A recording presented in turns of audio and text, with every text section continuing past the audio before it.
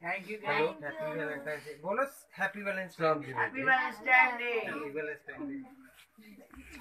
happy Valentine day ਐਸੀ video ਨਾ ਬਿਲਕੁਲ ਦਿੱਤਾ ਸੀ ਮੈਨੂੰ ਯਾਦ ਹੈ ਹਰ ਚੀਜ਼ ਯਾਦ ਹੈ। ਮੈਂ ਹਾਲੇ ਤੱਕ ਜਸਟ ਇਹ ਤਾਂ ਆਵਾਜ਼ ਆ ਰਹੀ ਹੈ ਬੱਚਿਆਂ ਦੀ ਮੈਂ ਪ੍ਰੋਗਰਾਮ ਦੇ ਹੈਲੋ। ਹੈਪੀ ਵੈਲੈਂਟਾਈਨ ਡੇ ਤੁਹਾਨੂੰ ਤੇ ਭੈਣ ਜੀ ਤੁਸੀਂ ਵੀ ਇੱਧਰ ਤੁਸੀਂ ਆਓ ਉੱਥੇ ਚਰਚ ਆ ਜਾਓ ਤੁਹਾਨੂੰ ਉੱਥੇ ਦੁਆ ਕਰਾਂਗੇ ਥੈਂਕ ਯੂ ਮਾਮੂ ਜੀ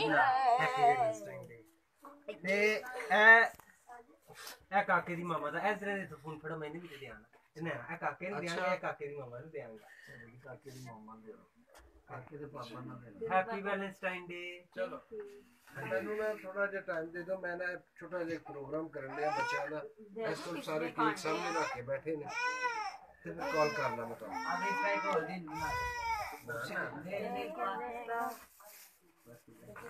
इस ज़्यादा इसको नाक के पास लाना इसके अंदर कीड़ा होता है बेटा फूल पकड़ के बैठो फूल अपना पकड़ के तो बैठ जाओ उधर बैठ जाओ फूल पकड़ के दिखाओ बाजी क्या कर रहे हैं लेकिन एक हाँ अच्छा इधर देखो जरा सारे